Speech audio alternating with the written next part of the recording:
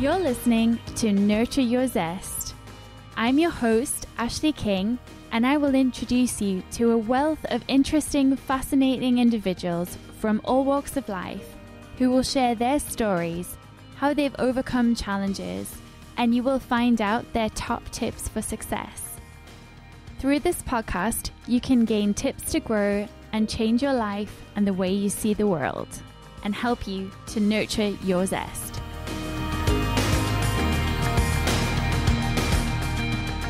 Hello, thank you for joining me today. My name is Ashleigh, and I'm delighted to have Herb Kim in the studio with me today. I'll pass over to Herb now to introduce himself. Thanks, Ashleigh. Uh, so, my name is Herb Kim. I'm best known uh, as the founder of the Thinking Digital Conference, uh, also TEDx Newcastle, TEDx Manchester, TEDx Liverpool.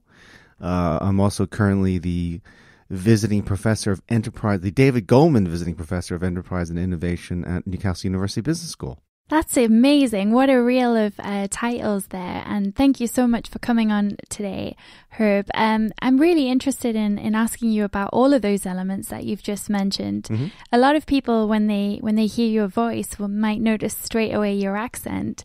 Yeah. So can you tell us a bit more about your, your journey? How did you come to be in Newcastle of all places? Sure. Uh, well, my parents are Korean, mm-hmm. uh, and they uh, moved to New York in the early '60s, and uh, uh, I was born in 1967 uh, in Brooklyn, and I grew up in basically the New York City area between New York and then eventually New Jersey, suburban New Jersey. and I went, you know, went to university in New Jersey. I did my business school degree in Philadelphia, and um, while I was um, in business school, I did a semester at London Business School. And while I was there, uh, I met a woman and we kind of hit it off. And then we started dating. I m- went back to New York and she stayed in London. She was working for what's now PwC, the accounting firm or the accounting and consultancy firm. And uh, I went to work for IBM. And um, through again another series of happy accidents. Um, uh, a company called Blackwell's, uh, based in Oxford, England, uh, was looking to set up an internet bookshop, and they, they got in touch with me to ask me if I knew anyone that might be interested in helping them. This is back in 1996, 97, so this was a while ago, and very few people at that point had you know internet experience. And I was working for the internet division in IBM in New York, and I just said, well, you know, actually, my personal circumstances mean that I'd actually be pretty curious. Maybe there is a fit here. And so there was, and I came over to Oxford uh, in June of 1997. And uh, yeah, I've been in the UK ever since. Uh, I spent a couple years in Oxford, four years in London, uh, and then a whole other long story. I ended up in Newcastle to set up uh, an economic development company to kind of uh, hothouse the sort of the digital and tech industries of the northeast of England, which I started moved in. I like to joke I landed on Geordie Shores in 2002, and I've been working here ever since. Um, and uh, in in uh, this was now for a bunch of personal reasons, I've been splitting my time between Liverpool and Newcastle. Uh, and and I came in 2002 to set up, eventually set up a company called CodeWorks, and one of the projects of CodeWorks was to do a conference that became known as the Thinking Digital Conference, which first launched in 2008. And you know, our timing was very good in the sense that uh, you know the the tech industries, the digital industries in the north were just really beginning to you know uh, take hold. If you go, if you think back to 2008, uh, that was the year that the iPhone launched and you know that of course unlocked this massive explosion of of of of, of tech wealth and, and curiosity and and whatnot and and innovation of course. And it really kind of helped helped fuel the rise of of conferences like Thinking Digital. Uh, in 2009 the TED launched the TEDx program and and I volunteered to uh, actually launch five TEDx's um, today I'm only involved in in, in three. And uh, yeah, I mean, uh, uh, you know, in 2012, the old company that I had come up here to create, uh, called CodeWorks, well, we shut that down because it, it was funded um, primarily by the government, and with uh, all the changes in, in the government at the time, we we had to we had to shut that down, and I, so I, I I sold my house in Liverpool, and I bought Thinking Digital from CodeWorks so it could set it up as an independent company. That was 2012. And lo and behold, uh, seven years later, I haven't managed to bankrupt the firm, and uh, we, uh, you know, we seem to be doing okay. And uh, that kind of brings us up to, I guess, 2019. Uh, hopefully, that wasn't too long-winded a version of my story. Not at all. That's really interesting and actually fascinating to see how much you've been in different cities in the UK. So mm-hmm. coming mm-hmm. coming to new shores and actually trying out various places before ending up between Liverpool and Newcastle. Mm-hmm. And I do hope that you have had what Newcastle is known for as a really wonderful welcome um, and and really friendly um, as the Geordies are known to be. It's I am actually from South Africa myself originally, so mm. I have to say when I first came to the UK, I was delighted to be in Newcastle. It's such a warm and friendly place. Um, although I did find it really cold, and I find that really funny because actually it was July and the height of summer when I arrived. So, did you find uh, much much different between um, being from New York and New Jersey mm-hmm. to coming to the UK? Were there cultural differences that took a mm. while to get used to? Um, how did you find that transition? So, uh, well, when I first came to the UK, I moved to to Oxford, and so there was, of course, still a weather adjustment, even though obviously, uh, obviously Oxford is further south from from where we are right now.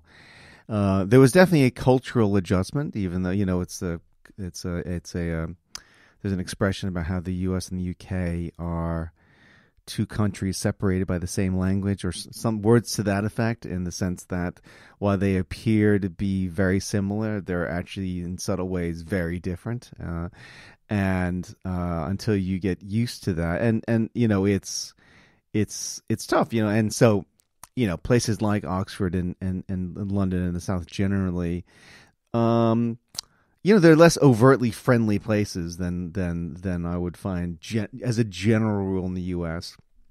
And so, you know, and of course, there's a there's a certain amount of sarcasm that you've got to figure out when they're being sarcastic and all that kind of stuff, right? You know, and uh, so so yeah, so definitely there was an adjustment, um, and it's interesting because I mean when I got recruited to move to Newcastle, I was basically you know on the fence at that point about moving back to America, back to New York, or, uh, or you know someplace like that for a variety of reasons, and um, you know, and then I, you know, obviously decided to pursue this uh, opportunity in Newcastle, and now split my time between Liverpool and Newcastle, as well as Manchester and, and, and other points of the north.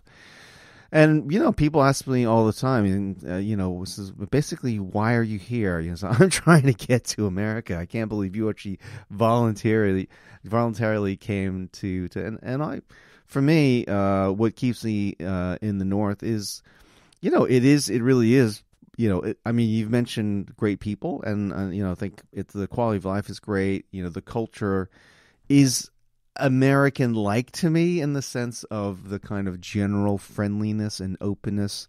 Uh, you know that that that that I have found uh, living in this part of the world, and um, you know, I guess I, along with you know others, have have have predicted that you know tech and digital and creative industries you know would become uh, very important parts of the northern economy. And it's been great to see that happen as well in parallel. And so i've had a number of things that's sort of kept me here. And you know and uh, the other positive thing is that i appreciate america a lot more actually living in england uh, than i did when i was there.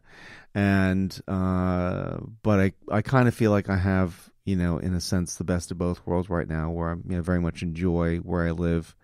Uh, but you know, I go back at least twice a year, uh, and I always enjoy going back as well. I think it's so important to stay curious and broaden your worldview, and travel's a really important way to do that. Um, although you've traveled a lot around the UK and you've lived here, do you find that with your TEDx involvement or all of the, the work you're doing in the tech industry, that as well as the States, do you end up traveling quite a lot around the world?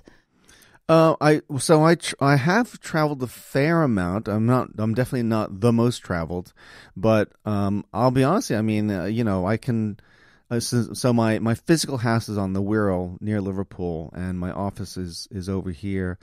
You know, I can be in a in a in a hotel in in Stratford, London, and and that can be different enough that uh, it just takes me out of my normal context and helps to um, you know, I guess see things just slightly differently enough to make them either discover things I hadn't seen or you know re- to see the same things in a different way. And, and then obviously, you know, if you go to Bangkok or if you go to San Francisco, if you go, you know, to Beijing, you, those are also obviously great opportunities to uh, take yourself out of the normal context and and or as some might say out of your rut, uh, and and help to, you know, really provoke a, a different way of seeing things and thinking about things.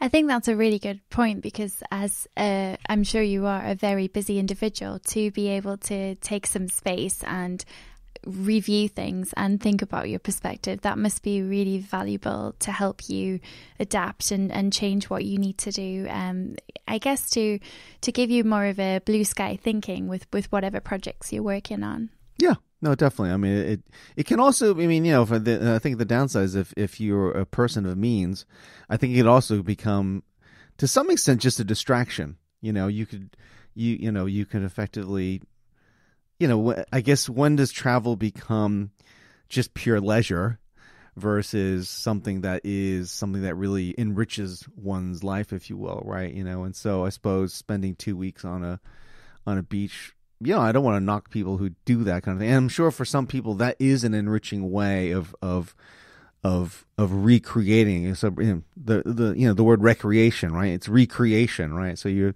you, you use that time to effectively recreate yourself and and your mojo uh, to to help you uh, hopefully achieve the things you want to achieve. And I think as well, a lot of young entrepreneurs are doing that, uh, traveling around the world and, and working from hot desking shared facilities in Bali or wherever they may mm. be. And it's quite interesting to see how how not just the world's changing, but actually the entrepreneurial space is changing a lot as well. Um, you also spoke about how there is a really strong tech scene and also creative arts and creative industries scene in Newcastle, um, and well, the North generally. And I think that is super exciting. I know that I'm really looking forward to seeing what emerging collaborations will come out. Connected to that, I'm wondering. So you you mentioned that you're the David Goldman uh, lecturer at the moment, and that's a very esteemed position. How did you get involved um, with Newcastle University? So, I mean, mean years prior to uh, the the current uh, visiting professorship that I hold, uh, I I've just, I mean, if you think about uh, you know, especially with things like Thinking Digital and, and, and, and, and TEDx Newcastle and other things like that, uh, they are events really about thought leadership, right? And so, what is Newcastle University but a collection of people, some in some cases who are literally thought leaders in their own fields, uh, and and others who are well certainly learning from those thought leaders or de- developing into future thought leaders and, and such like. And so it's just an incredible collection of of of talent, and it's a natural. It's it's almost not it's not surprising in any way that I would connect well with certain parts of that university community, and um, you know I think I guess I've I've just developed enough relationships and just uh, hopefully credibility within that community that when it came time to consider who might be uh, you know named or nominated to be this 2019 David Goldman visiting professor, uh, I guess my name came up, and I was very honored to uh, to be asked. Out of curiosity, have you felt any different in the way people treat you, or just your own personal experience um, being named a, a, professor? Do you find uh, there there is any different, or Sure. I mean, you know, uh, obviously Newcastle University, it's a Russell Group university. It's you know it's a it's a it's a very well established research university in the UK with a global you know presence and reputation. So even for my friends in in the states, uh, you know, it, it you know they they know it's it means something to have been asked to name this thing. So which is which is nice. I mean you know it's which is which is great. Um, it's been great to get to know you know people like Sharon at the business school and and and, Chris Day at the university, and and be able to you know converse and learn from from people like that and work with them as well. You know, and so. Uh, it's it's been you know it's been genuinely a valuable you know really valuable experience and um, you know great and, and great that I've still got some time left in my my in my role there. Absolutely. And out of interest, do you get to spend any time with the students? Have you had any interactions with students while while being in that position? So I'm working with the university to help them basically to uh, facilitate some uh, student and company interactions between local digital companies and students looking to get experience about in those things. Uh, I've done a couple of lectures and things like that, and um, I'll probably, I'm sure, I'll do a couple more. We're thinking about developing possibly one big headline event together and things like that. So yeah, we've got a number of different things, you know, that we're working on. That sounds great. Um, I wonder having had such a an interesting career and being involved in so many different things, I'm sure that you would be very inspiring to other people who are wanting to get ahead in tech or start a career in the tech industry. If you were to go back or if you were to advise a mentee or, or somebody now, what would your number one tip be for getting ahead in the tech industry? I think this is true for any industry but you know, uh, I mean, a lot of my current journey was started by reading uh, this book called Good to Great uh, by uh, Jim Collins, who is an ex Stanford University Business School professor.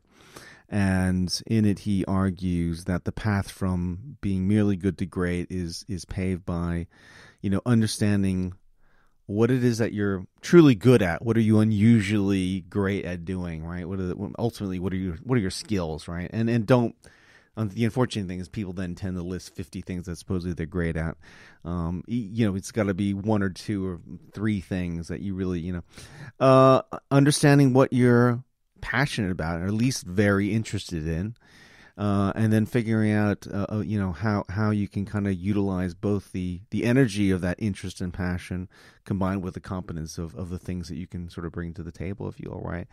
And so you know uh, you know for me i think I, mean, I think i would argue that all of secondary education i've got a daughter in secondary education you know like it's nice that they you know do things like religious studies and i guess a bit of history i think but I think beyond, you know, just beyond reading, writing, and arithmetic, right? You know, the basics of, of education, helping people understand what they're interested in and what they're good at is just and and the the more they know, I'm whether it be I'm good at math or I'm really great with people, I'm very extroverted and I'm like you know, uh, you know, or uh, you know, I'm, or I really enjoy researching. I'm really good at you know sitting by a computer for eight hours a day in a dark room and just researching deeply into a topic, right? And just having uh, and it's you know it's oftentimes it's uh, helping people develop an understanding as specifically as possible what they're good at. And so whether you want to be in tech or whether you want to go into sciences or sale or whatever it might be, having that kind of understanding about what you're good at, I think, is just a, a, massive because tech is. I mean, people hear tech and they think coding, right? And it's like, I it's, we're probably now at a point where the the major the cl- a clear majority of the people involved in tech, either the, don't they're not involved in coding at all. Or they don't, and, and they don't know anything about coding, right? So they're in sales, they're in admin, they're in marketing, they're in you know project management, you know there are just so many functions now in tech that have nothing to do with tech directly. Um, and so, uh, really understanding what it is that you are good at and what, what what you find interesting, I think is is is the first place for anybody. Thank you.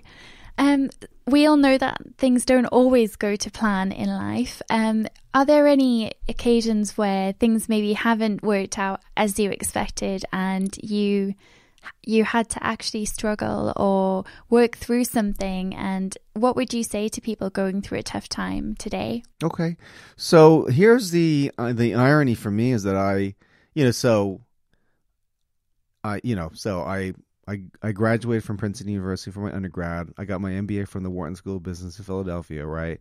You know, and my, you know, and that this is a path to basically what could be a relatively easy life of being in in sort of first world organizations, being you know maybe not a billionaire, but you know paid well and comfortably and all these sorts of things. And I I was very happy to embrace the philosophy of I want an easy life, right? I don't want a stressful life. I don't, you know, I I I want to achieve things, but I'm not I'm not looking to land on the moon, if you know what I mean, right? And um, but inevitably along the way, you know, um, some big, big fat, what felt like life threatening professional crises did arise, right? And I I did this talk a few years back where they asked me to look back on my career and. It was the first kind of talk I'd done that, and what I realized tracking through this point is that those those crises were actually any real significant personal professional development came basically off the back of these crises, right? And so I have, you know, at the end of that talk, I, I, I said something along the lines of, you know, if if you don't seek out challenges, challenges will come and seek you out, right? So it doesn't matter. The life's gonna life's gonna find a way to get you, right? So you might as well actually, and then understand that you know those challenges you know, are, and the more real they are, right? And that's, it, there's a lot of people who say they've been through challenging things, but well, you know, I, I don't know how challenging some of this sort of stuff is. That's really where all the great professional and personal development happens, you know, and and so for me now, it's like seeking that stuff out, and and the reality is that every every step of success actually, and it's interesting. We I've, I've spoken with lots of entrepreneurs and and business owners, and and the ones who do make it, so that they always think like, oh, if we do this thing, like we get to a million in revenue, that'll be the promised land, right? And then they get there, right? And of course, it is it is nice for a while, right?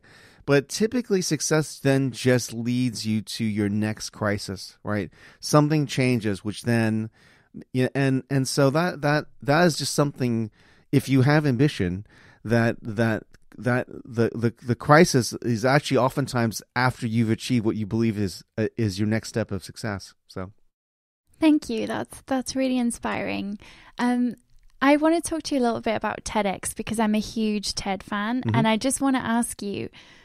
You did mention that you know you were asked to help get it going in in the UK and and, and in the north. Um, what is? Well, I wasn't asked. I did. I I, oh, I said I would. You know, I volunteered to do it. Yeah, so yeah, yeah, yeah. yeah and yeah. a lot of work goes into TEDx, um, and I know you you really have done such a great job for the local region, um, in in the northeast uh, of England. I just wondered, um, what is your favorite TED talk? Oh boy, there's so many, aren't there?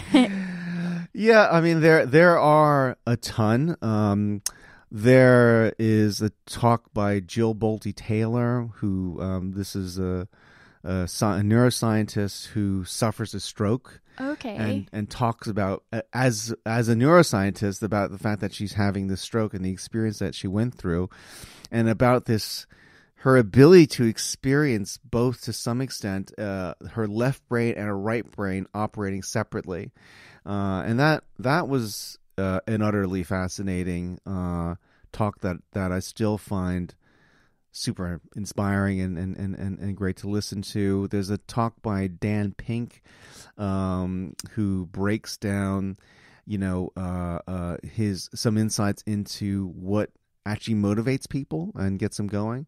So those are a couple off the top of my head. There are a bunch of others. Uh, that there's one from a woman named I think it's Kelly McGonigal uh, it is Kelly McGonigal. Her sister actually has done a TED talk as well. It's a very talented fan, of Jane McGonigal.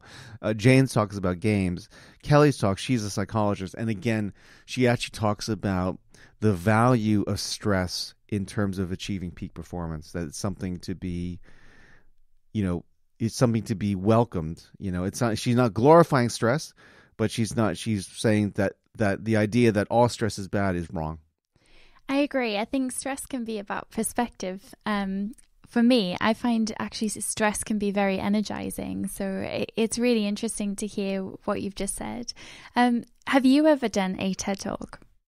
So I have done a TEDx talk. Um, I did one actually in, was it Biarritz? Uh, uh, sorry, uh, it was in South. It was in South France. It actually took place near Biarritz, and I'm just oh TEDx Basque Country was the was the full title thing, and uh, so yeah, so I have done I have I have done one or two. Yeah. Okay, and as someone so involved in TEDx in the north of England, uh, what would you say, given that you've got a conference coming up? I mean, we're really excited about it locally. Can mm. you tell us a little bit about your conference happening?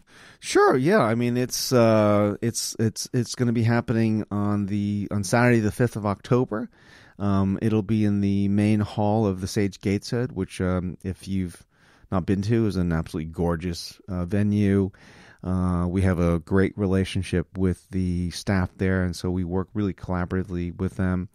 And we will have, you know, another great array of of, of fascinating speakers and performers. And uh, we're we're on track to have more than twelve hundred people attend. So it's become a you know like a I guess a big deal. Uh, and it's uh, it's lovely to um, you know it's a, genuinely a privilege to be able to to host and produce it.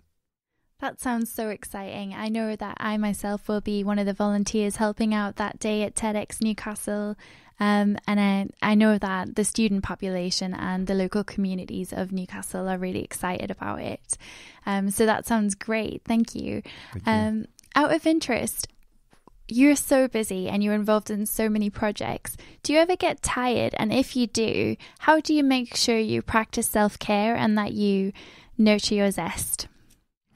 So, uh, yeah, I mean, managing, I mean, this is true for pretty much everyone, but certainly most people.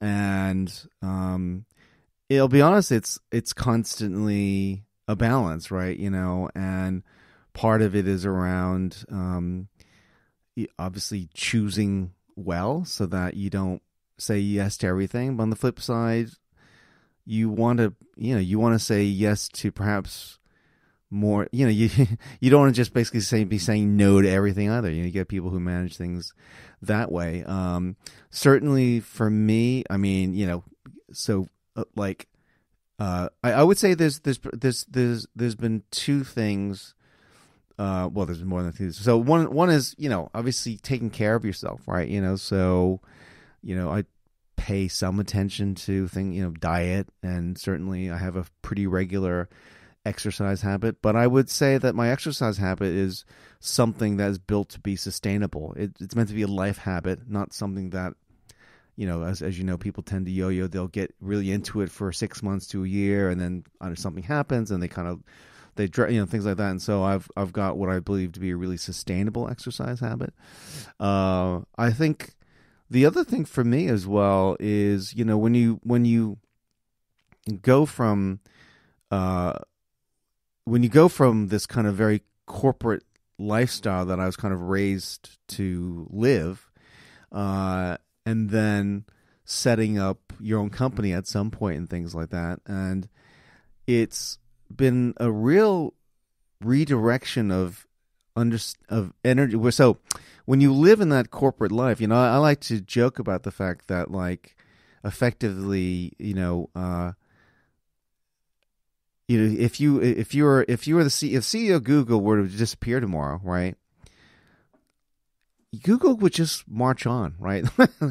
it would still continue to generate billions in profits, and you know, and and and to some extent, you know, there there, there is a game that's already been set up at Google. It has lots of throw weight, and and and you know, and so and and you you will just step into that game and and get to play it or not, right?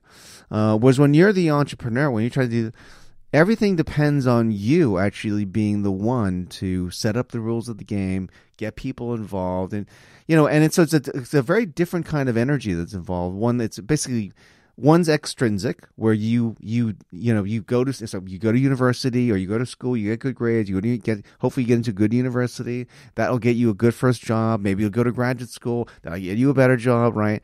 And all along the way it's kind of like you just trying to jumping through hoops to then get a bigger prize right? Uh, whereas when you set up a company you know or an organization or whatever you know there there is a, you know it's all down to you and and, and so that energy's got to come from from you inside versus something that you're responding to and so that's been that's been a really big lesson for me and in, in, in, a redirection of of of to some extent what motivates me. Excellent, thank you. If there if there's one thing that you could say to people in one word, what would it be if you were wanting to inspire the next generation listening? one, I only get one word. Only one word. Curiosity. And uh, well, we were just talking about this before in in, uh, in the other room, and it's it's uh, so for me, you know, it's it's a it's a fundamental driver for what keeps me going. And that's what I mean. For we talked about Ted already. I mean, that's Ted reconnected with me with my. I kind of lost a lot of my curiosity, and it made me reconnect with that and and realize how important it was to my energy and my you know motivations, my mo- my my mojo, as I've mentioned before and um, it's so it's also a dangerous thing as well because you know especially in the commercial world oftentimes people don't want you to be curious they just want you to take orders and shut up more or less right and and of course sometimes you should you need to, to play ball and play play with the team but you know you need to make sure that that you you don't well at least for people like me you you you stay connected with your curiosity Thank you, Herb. Given that you've been so helpful telling us about TEDx and we're all really excited for the conference coming up on the 5th of October, can you um, tell us a bit more detail about the giveaway that you'd like to do? Yeah, sure. So uh, we're uh, very happy to um, donate a couple of free passes uh, for uh, interested lis- listeners just simply uh, email us on info at tedxnewcastle.com. That's info at tedxnewcastle.com. Um, uh, and if you include in the subject the hashtag, why don't you read the hashtag? the hashtag is nurture your zest. Okay. Yep. So hashtag nurture your zest in the subject and just include, uh, obviously, well, we'll have your email address if you're emailing us in, but uh, the, the names, uh, emails of the interested uh, uh, two people, uh, as well as any social links, whether it be Twitter or Facebook or LinkedIn. And we will um, go ahead and, and I guess run that for. What, what, this is going to come out on the 23rd, did you say? Yeah. So if we ran it for five days, so close it on the 28th. I don't know what that is, but yeah. Let's just say the 28th of September. Sure. Yeah. So we'll agree. Um, we'll agree the uh, attendees on the 28th of September. Mm-hmm. Great. Thank you so much, Herb. That sounds awesome. Um, I know I'm going to be there, and I look forward to seeing the um, the ticket winners there also. Definitely, yeah. Good Th- stuff. Thank you. Um, so, can you tell our listeners how they can find you? Where will they go online to, to find Herb Kim? Sure. Uh, on on Twitter, I'm just at Herb Kim, H E R B K I M. Uh, if you search Herb Kim on LinkedIn, I tend to be the one of the very few that pop up, and uh, I'm you know I'm Facebook as well, but uh, is probably the, the the the the easiest way to get me direct or LinkedIn. Excellent. And we'll make sure that any links to Herb are also in the description of this podcast. Thank you very much for tuning in today. It's been an absolute delight to chat to you, Herb, and we really appreciate you joining us. Thank you, Ashleigh. You've been listening to Nurture Your Zest. You can find us online on Facebook, Twitter, Instagram, and LinkedIn at Nurture Your Zest. If you've liked today, please subscribe. You can also leave us a review if you're feeling extra kind. Today's podcast has been made available through the kind sponsorship of TL Multimedia and That Branding Company. We look forward to catching up with you again soon as you learn to nurture your zest.